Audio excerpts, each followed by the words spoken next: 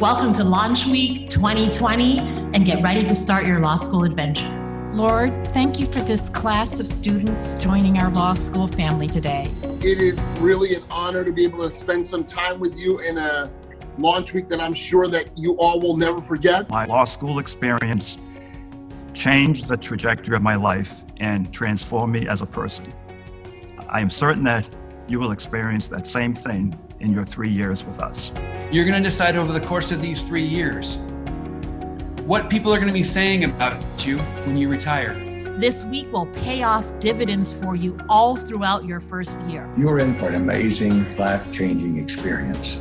We want you to be lawyers and law students with the highest ideals, the strongest of work ethics, and we truly believe that this will help you to have success in all areas.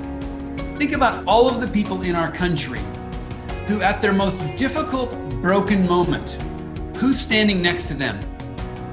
It's going to be a lawyer.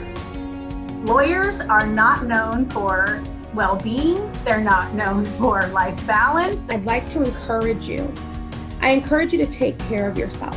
Figure out what your version of success is, like define success for yourself. Because of the breadth of the Pepperdine education, the world is really open to you. And even as a law student, you are viewed as a leader and someone with an obligation to your community. Each and every one of you, no matter what your background, no matter what your walk of life, each and every one of you has something great to contribute to this nation.